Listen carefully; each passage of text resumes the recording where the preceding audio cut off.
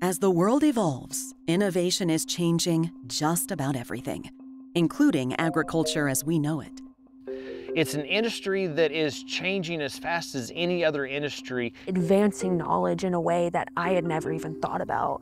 The biggest challenge that faces agriculture is trying to find the balance between being absolutely efficient and being productive. That requires our yields to be higher. That requires efficiency and our sustainability on that acre to be top-notch day in, day out. We're farming inches at times versus acres.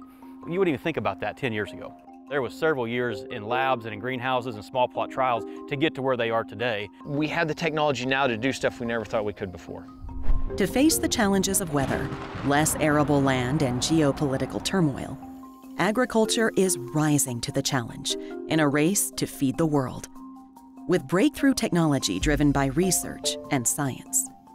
Technology has continued to in increase and evolve and uh, change every year really. Uh, we've started doing variable rate planting where we will plant different amounts of crop or seed into the ground in different spots of the field depending on where where we think it'll do the best and where it'll produce the most with the least amount of inputs involved with it. The roots go deeper than six inches.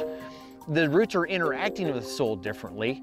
And so the innovation is is understanding how the crop and the nutrients and the soil and the environment are all interacting in one. How are the roots growing, accessing the nutrients? How can we change that across the landscape because maybe we need more or less of something here. There's technology in this granule, there's technology in this building, there's technology in the soil, um, there's science in the soil. So we just got to marry them all together. As, a, as agronomy advisors, we've got to, we got to bring together what's going on below ground, above ground, and then Mother Nature and make it all one big process.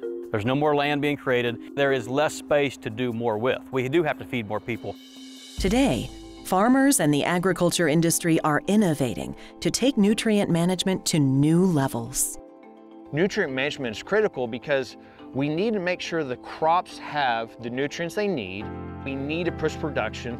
We need to produce not just the high yields, but we need yield stability. So that means we bring the lows up. Some of the things we're doing is maybe taking some nutrients and putting it right by that seed or the micronutrients right by that seed, got right where they need it, right when they need it, the exact place they need it. The days of broadcasting out in one blanket rate are behind us.